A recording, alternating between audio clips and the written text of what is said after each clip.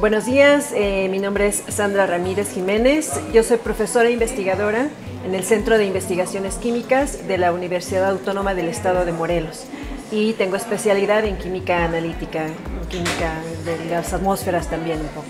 Doctora, ¿por qué es importante un congreso que trate esta temática, o sea, el cambio climático y su impacto en la salud humana y planetaria? Pues porque es un tema que tenemos ya encima de nosotros, ¿no? En la, la Tierra es todo un ecosistema, tenemos varios uh, sistemas coexistiendo en ellas, plantas, seres humanos, animales, los continentes. Eh, hay una dinámica planetaria que va cambiando, que va transformándose justamente por la presencia de estos participantes. El impacto de las actividades humanas, el, efecto antropogénico, este, pues es importante y ha sido pues, un impacto negativo en general estamos contribuyendo fuertemente con una, una, incorporación muy alta de dióxido de carbono hacia la atmósfera y eso pues es lo que en gran medida ocasiona el, el, el, cambio climático, ocasiona este incremento en las temperaturas y ocasiona pues todo un cambio que el, planeta tiene que responder ante ese eh, factor externo, ese factor que se le está este, adicionando del dióxido de carbono y tiene que encontrar una manera de contrarrestarlo y esa manera de contrarrestarlo pues a veces no es muy eh, conveniente ¿no? para los seres humanos. Y ahí es donde viene pues el impacto por ejemplo en las grandes eh, inundaciones o en lugares con altas sequías o en la escasez de agua potable.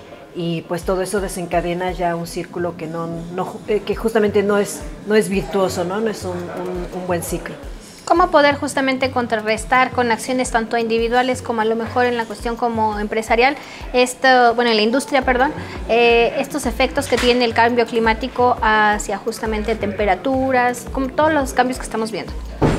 Eh, pues bueno, voy a empezar con lo local, ¿no? A veces hablamos de que sí, los países tienen que hacer el tratado, tienen que concientizarse, tienen que apoyar, pero pues a mí me gusta eh, mencionar también que nuestros, nuestras acciones eh, personales, ¿no? Por ejemplo, en casa, pues de verdad cuidar el agua, ¿no? El agua es un recurso no renovable, el agua potable es muy escasa en muchos lugares. Entonces, pues eh, acciones, ¿no? Que lleven al, al cuidado del agua, eh, al consumo racional, ¿no? También, pues sabemos que hay muchas personas que no tienen acceso a alimentos, por ejemplo, y hay muchos lugares en donde se desperdician alimentos, eh, pues al reciclaje, ¿no? A, las tres R's famosas, de, este, pues reducir los consumos, reusar y reciclar. Yo creo que en México hay muy buenas oportunidades, por ejemplo, para el reciclaje que no se están tomando y ahí es en donde, por ejemplo, los industriales, eh, las universidades, ¿no? los grandes corporativos podrían comenzar a tomar la batuta e impulsar estas políticas de reciclaje.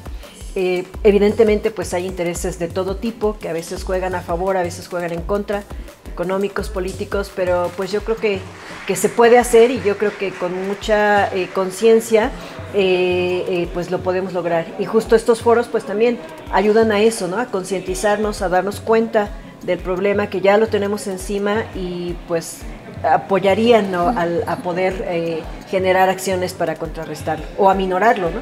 Doctora, ¿nos puede platicar un poquito a grandes rasgos de qué va justo a tratar su ponencia? Claro que sí. Eh, el tema que yo elegí para participar en este congreso pues es el de atmósferas planetarias, que es mi especialidad. Eh, yo voy a hablar un poco de eh, pues, eh, lo que se sabe ¿no? con datos técnicos, mediciones científicas, sobre cómo la Tierra ha estado, se, ve impactada por este cambio climático, hacer un poco la diferenciación entre lo que es el calentamiento global y el efecto invernadero, que a veces son como conceptos que se confunden y que los tomamos como sinónimos. El efecto invernadero es una cosa que ha existido de, de, toda la vida en el planeta Tierra y que de hecho es necesario para que la vida en este planeta pueda subsistir y pueda mantenerse. El cambio climático no necesariamente, ¿no? El cambio climático tiene que ver, como ya comenté, con esta incorporación de grandes cantidades de dióxido de carbono a la atmósfera que entonces nos están llevando a estos eh, cambios ¿no? dramáticos en los, en los climas eh, eh, mundiales.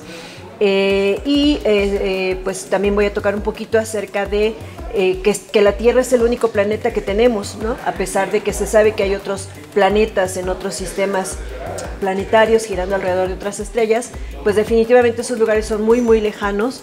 Estos lugares se les conoce como exoplanetas, no podemos llegar allá con la tecnología actual, no, no tenemos noticias inclusive, a pesar de que hay un alto número ya de exoplanetas, un poco más de 5000, eh, no hay reportes sobre ninguno que tenga las condiciones eh, planetarias como nuestro planeta, como la Tierra.